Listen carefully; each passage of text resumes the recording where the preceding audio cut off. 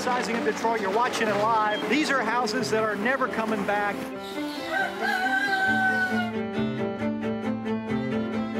Repent when again for the forgiveness of your sin. They keep saying, I, I, are you rich? Are you poor? Are you rich? Are you poor? It's about the sanctity of human liberty and the cost of it if you want to take it. I know it. But keep your head up. Don't look down. We just can't disappear. We just can't.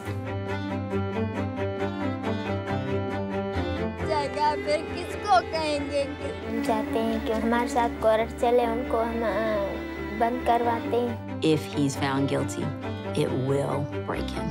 to stand up, to fight back, is just incredible.